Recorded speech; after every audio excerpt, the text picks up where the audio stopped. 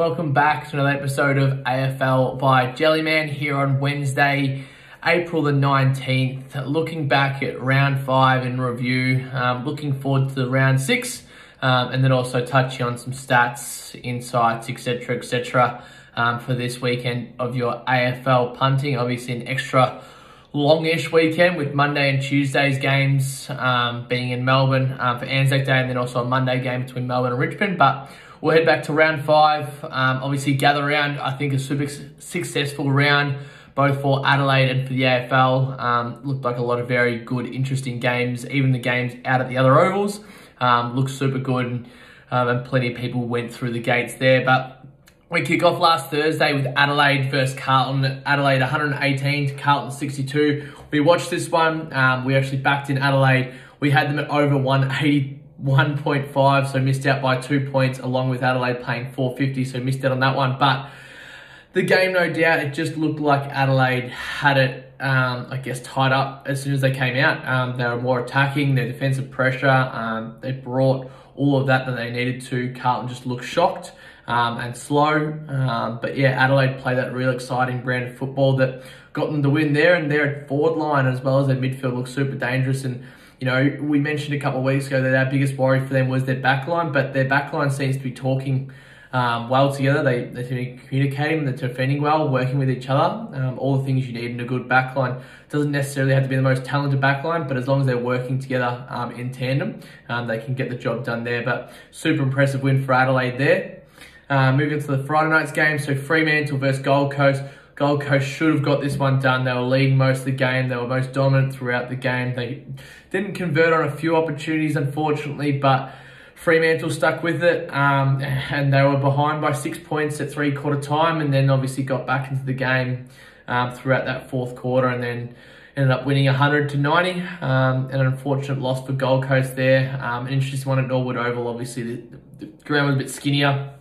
So a lot more sort of forward going football um, and everything like that. But uh, I think that's a lost opportunity for Gold Coast and we're still not sold on the Fremantle Dockers either.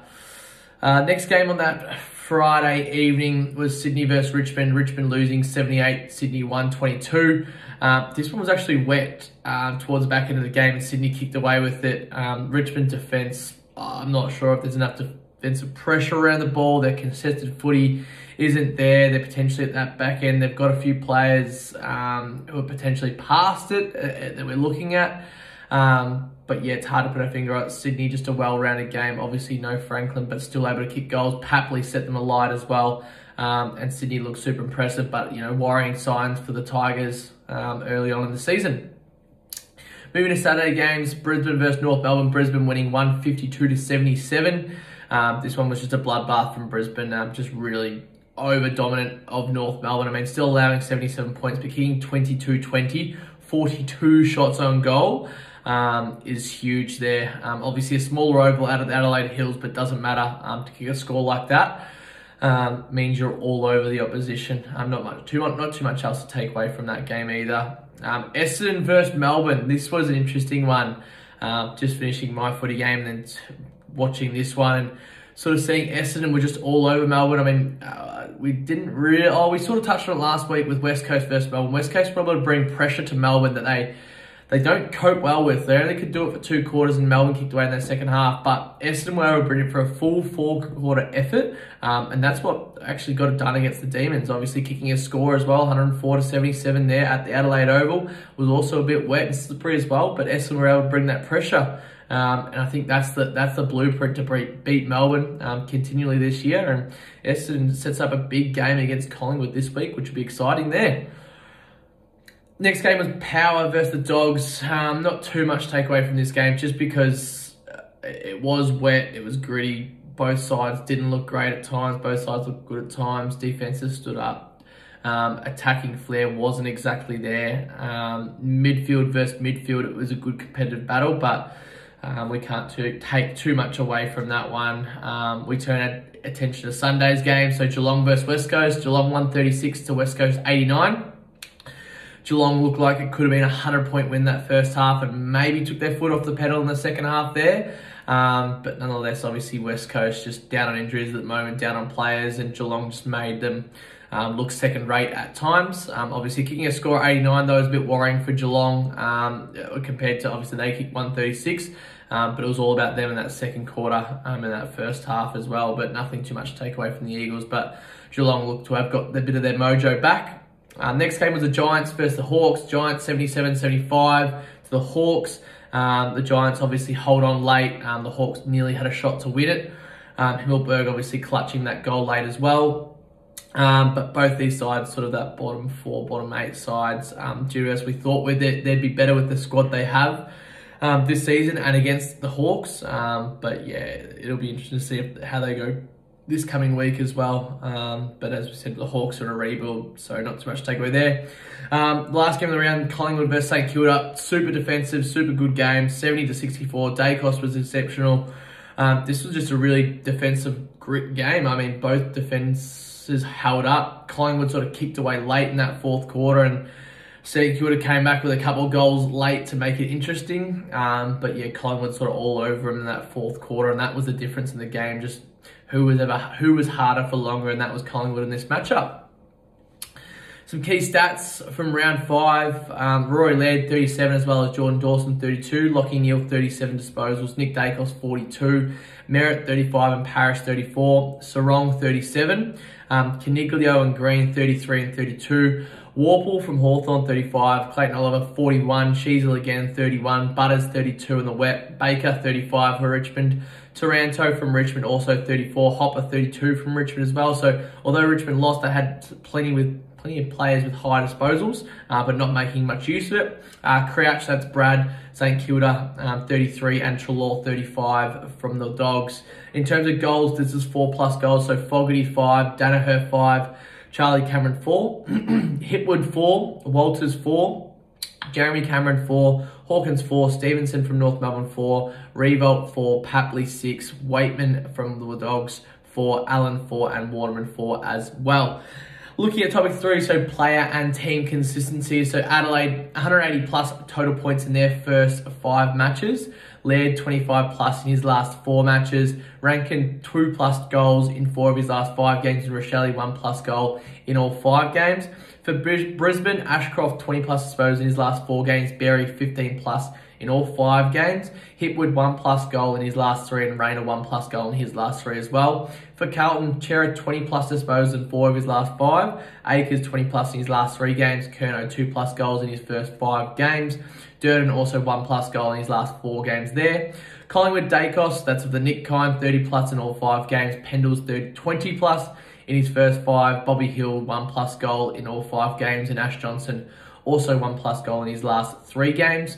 Um, and that's all of his three games as well. Essendon Merrett, 25 plus disposals in his first five games. Dylan Shiel, 20, 20 plus disposals in his all five games. Perkins, one plus goal in all five. And Nick Martin, one plus goal in all four games, in his last four games as well. For Fremantle, Serong, 30 plus in three of his last four. Schultz, one plus goal in all five games. Amos, or Amos, one plus goal in his last three. And also Luke Jackson, one plus goal in his last three games as well, playing more forward. GWS, Cumming 20 plus disposals in his first five games. Haynes 15 plus in his first five. Hogan two plus goals in four of his last five games, and Daniel one plus goal in his last five games.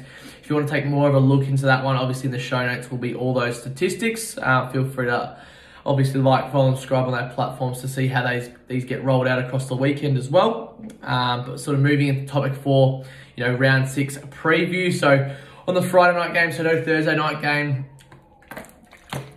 We've got the Dockers versus the Dogs over there in Perth. Um, last time these sides played up, uh, played off, played up, played off. Um, they played twice last year in the finals week one. Um, so the Dockers won 73-60 in that matchup. Um, this one was over in Perth. And then earlier in that season, which was in round 21, the Dockers also won 95 to 78.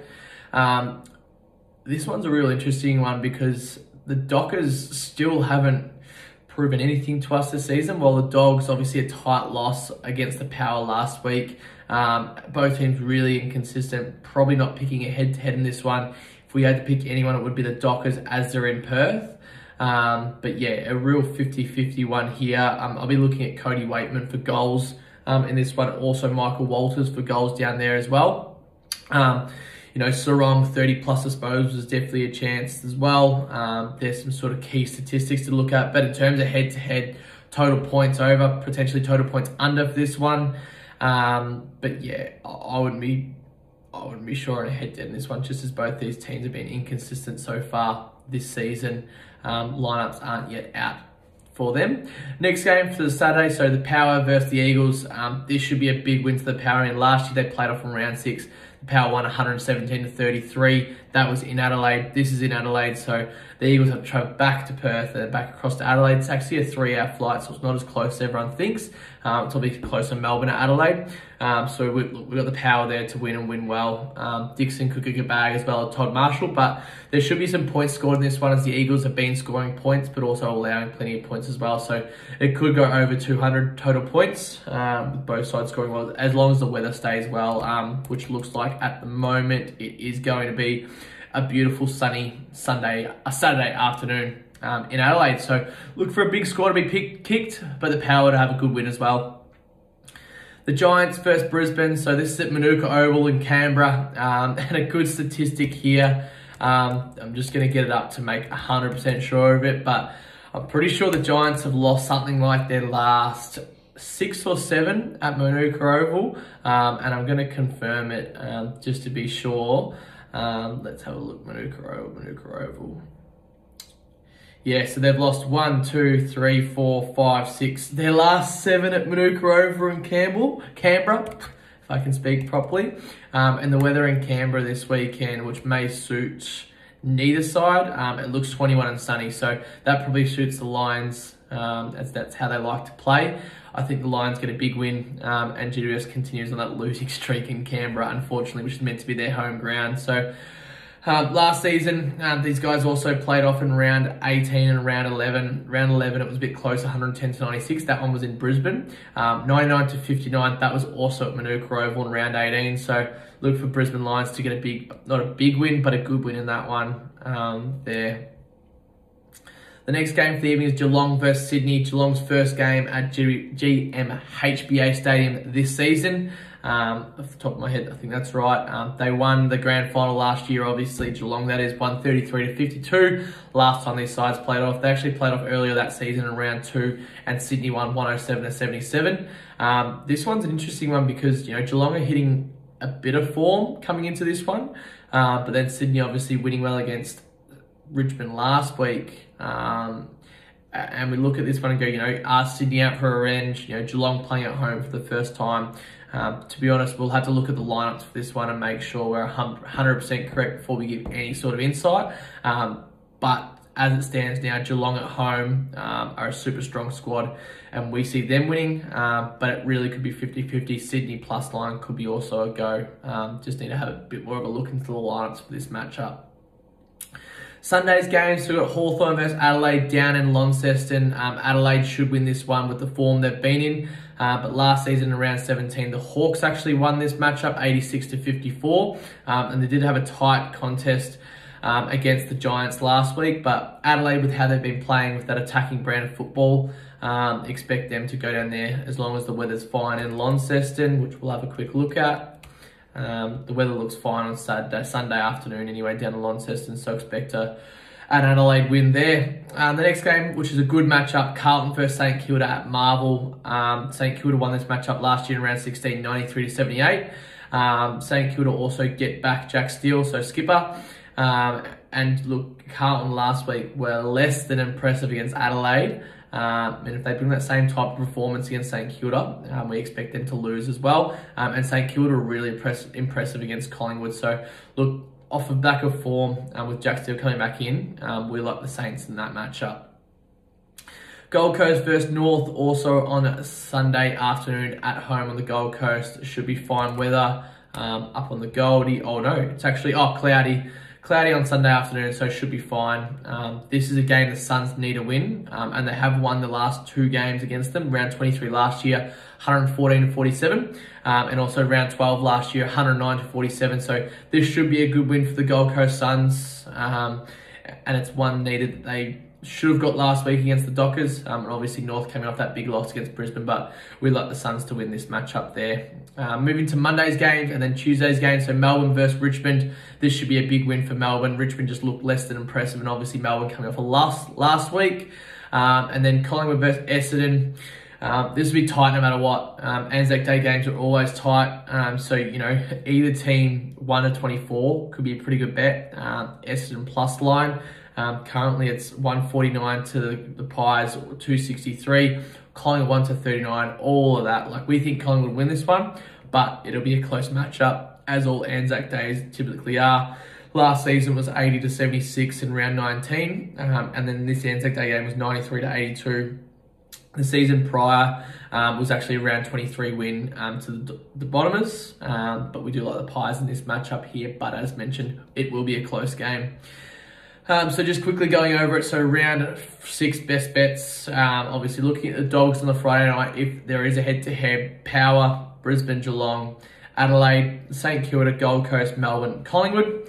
Um, and then moving into some obviously you know multis in round um, round six stats and best multis um, that will also get up on you know TikTok and our reels on Instagram. Um, so AFL stats for round six. Um, GWS has lost its last 12 verse sides in the top eight. Um, Geelong have won eight of the last nine at GMHBA. Um, Adelaide have won their last five matches as favourite, and North have lost their last 10 games in Queensland. So Brisbane, Geelong, Adelaide, Gold Coast, 312 as a four leg multi. Friday's stats, um, or Friday's, yeah, Friday's stats. Schultz, one plus goal in all five games. Jackson, one plus goal in his last three. Libba, 20 plus, suppose, in his last five. In his all five games. Naughton, one plus goal in all five games. 230 as a four leg multi. Saturday, Horne-Francis, Allen, uh, Horne-Francis, 15 plus disposals, in all five games. Allen, Oscar, that is, two plus goals in all five games. Cumming 20 plus disposals in all five games. McKenna, 15 plus disposals in all five games. Smith and Lloyd, 20 plus disposals in all five games. Combine those six together, 6-11 on Sportsbet.